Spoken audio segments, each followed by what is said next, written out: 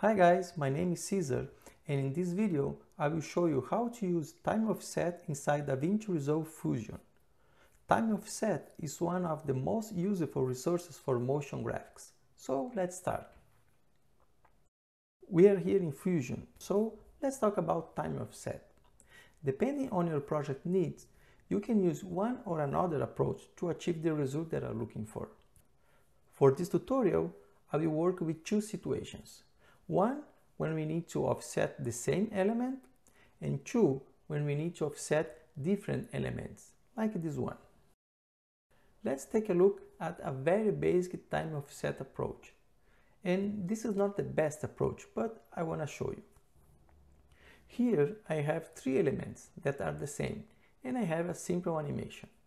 To offset this animation, I will copy and paste this transform node that contains the animation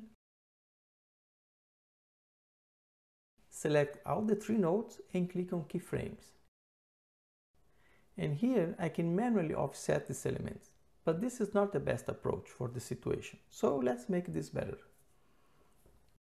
When we need to adjust the same element, instead of duplicating, copying, pasting and manually adjusting all the keyframes, we can use a duplicate node that is much more efficient.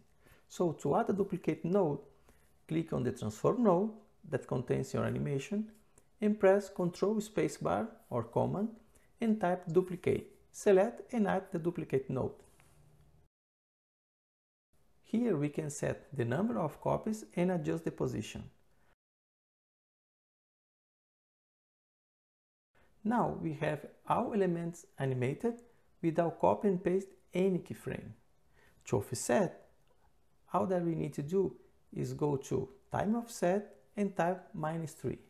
And now we have our animation with time offset. Very simple and clean. So that way we can change our time offset or even adjust the animation without worrying about copy and paste keyframes. Also, we can use the same setup to animate a test. So just take some test and connect on the transform node. If we need to make any adjustment to our animation, all we need to do is go to the spline and make the adjustment. We can also use the same setup to connect an image, which is amazing for motion graphics, and we can explore a lot of different animations and options. Now, let's take a look at option 2 when we need to animate and offset different elements. Again, I don't want to copy and paste keyframes, so I will use an expression. Expressions are a powerful tool inside Fusion and very handy for motion graphics. Before starting, let's take a look at how I prepare and imported this file. This is a PSD file with layers and I have all my elements here in Affinity Designer and each layer has a name. So I will select everything, go to Export, PSD, Selection Only and save it. If you are using Photoshop, just save as PSD and make sure that we have a layer selected. Here in Fusion, go to Fusion, import PSD, select your file, and here we are. Okay, let's take a look again. I have a transform node that I renamed null, which I use to control the global position and global animation in case I need it. And I have an individual transform node for each layer, or in this case, nodes.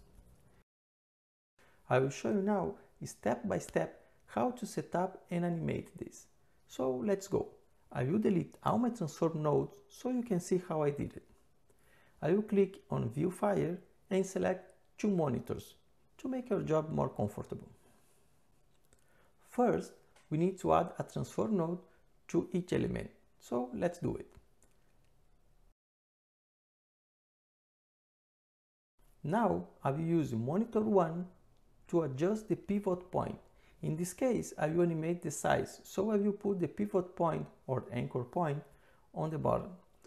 And I will do the same for all elements.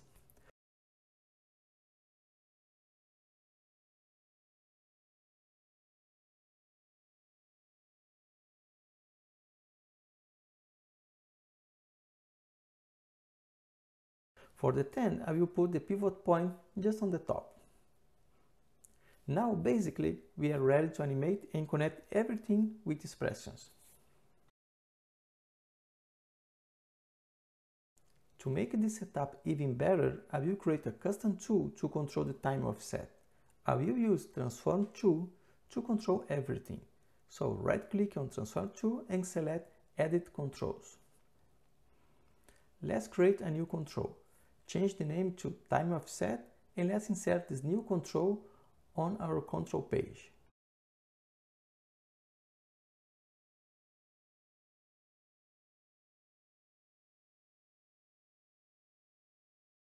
The type will be slider control.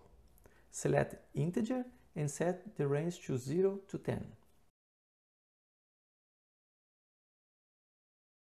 Now this node is ready, so let's create an animation.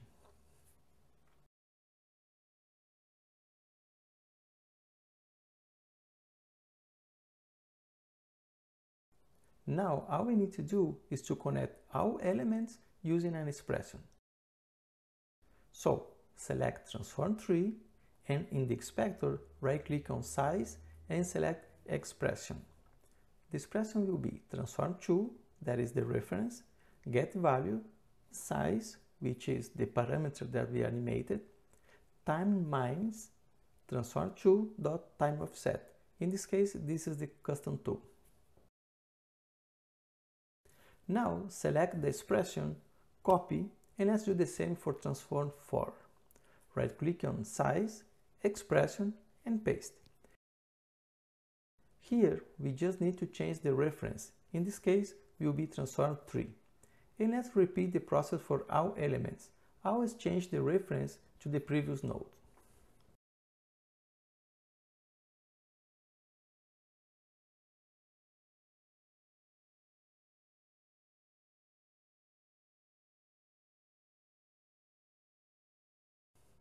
Okay, so now our setup is ready and working. So let's click on transform 2 another time offset and let's play with different values.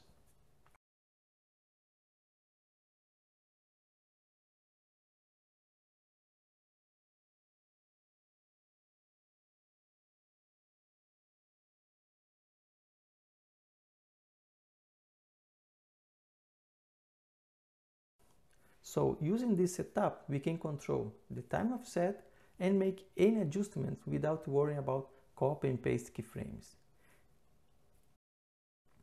Another great tool in Fusion is the versions.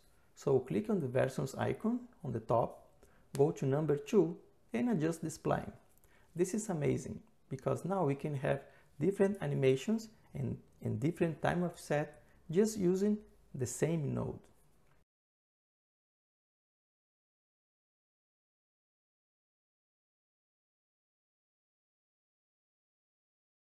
Well, we are done. I hope you have enjoyed this video and if you like it, please subscribe to the channel and let me know in the comments below if you have any suggestion or questions about this video. So thank you and see you the next video. Bye!